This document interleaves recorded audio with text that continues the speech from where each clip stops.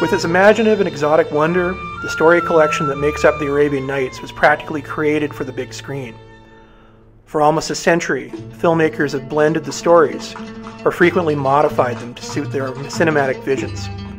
The results are as varied as the tales themselves, sometimes authentic, sometimes not, often becoming what film critic Robert Irwin called a rich mulch of mock exotic trash. Film interpretations of the Arabian Nights keep Scheherazade's stories alive, but often in unexpected ways. Character depiction is also a controversial topic. Many of the biggest figures of the silent film age use the Arabian Nights as their inspiration. Germany's Fritz Lang was one of the first, adding an Arabian theme to a chapter of his film, following its hero's attempts to redeem her lovers Orientalism and expressionist movie making work together, though the tales are mostly window dressing for the larger story. Such exoticism carries over to the groundbreaking animated film The Adventures of Prince Ahmed.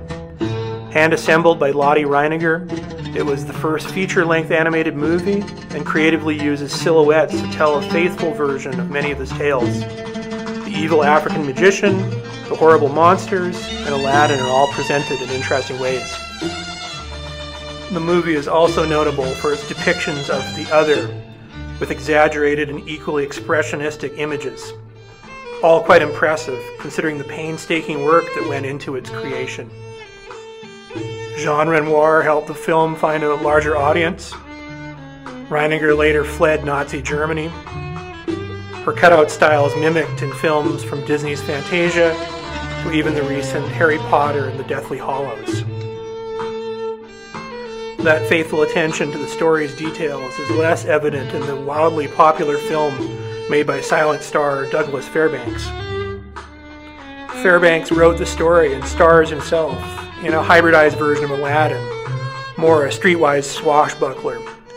This was considered a more sympathetic fit for U.S. audiences than a prince. There's action aplenty as he attempts to woo the daughter of the Caliph. The film helped set the tone for a wide variety of Arabian Nights inspired cinematic tropes. All those larger than life monsters, flying carpets, ropes that unfurl like charmed snakes. Meanwhile, the athletic and lithesome and very Caucasian looking Fairbanks leaps through the movie like a pirate, not exactly an authentic Persian Arab character, but still entertaining.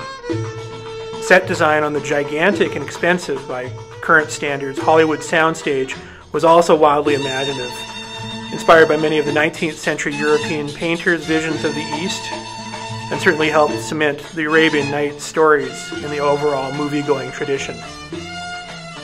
Many scenes feature thousands of extras, and the special effects are quite revolutionary considering the time building upon the experiments of the 1924 original, but imbued with sound and the full pomp of a wartime era Hollywood production. Korda's version truly serves as the model for all the gimmicky, arabesque spectaculars that followed. Much like the Fairbanks vehicle, Korda's production generously borrows from the Arabian Nights tradition and includes genies, magic carpets, a story mutated from the Aladdin model.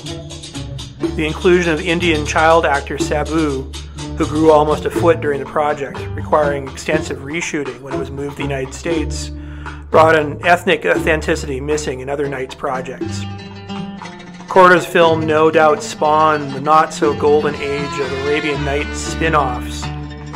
Thus, we see the Arabian Nights reduced to whimsical and often insulting portrayals.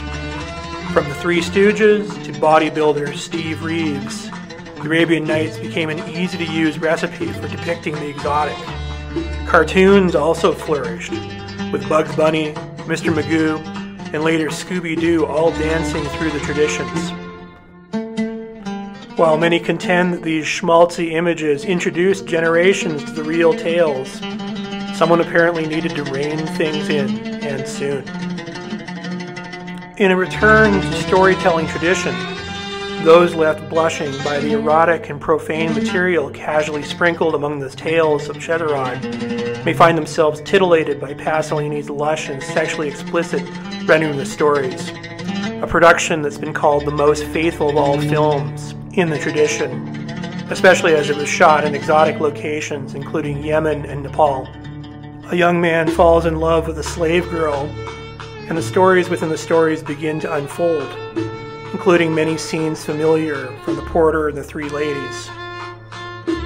More than just a slave girl disguised as a king, the vengeful jinn who keeps a woman enslaved beneath a tree, one of the many Italian actors in an otherwise culturally authentic movie, also turns a prince into an ape and the infamous bathing scene unfolds in all of its naked glory for all of us to enjoy.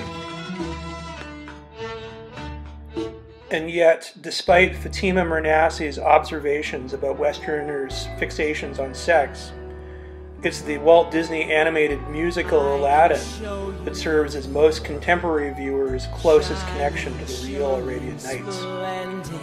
With the improvisational comedy of the late Robin Williams, memorable score, and action aplenty, the film was the most successful of 1992.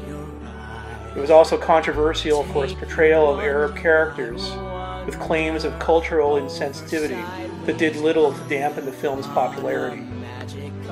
Aladdin and Princess Jasmine are given westernized looks and voices, and lovable animal sidekicks help offset some of the movie's more questionable images.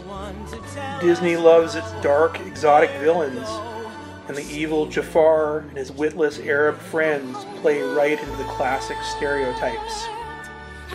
Despite those criticisms, it's been one of Disney's biggest successes. Aladdin spawned a bevy of animated sequels, and then a virtual industry has developed. A live stage show especially in its long running Broadway engagement, absolutely dispenses with authenticity. There's not a single Arab face in the cast, and instead emphasizes showbiz razzle dazzle and production values to accentuate and extrapolate the Aladdin story. There's even an Aladdin themed ride at the Disney amusement parks. You can hold an Aladdin themed prom at your high school, and a live action movie version is in the works. You've clearly come a long way,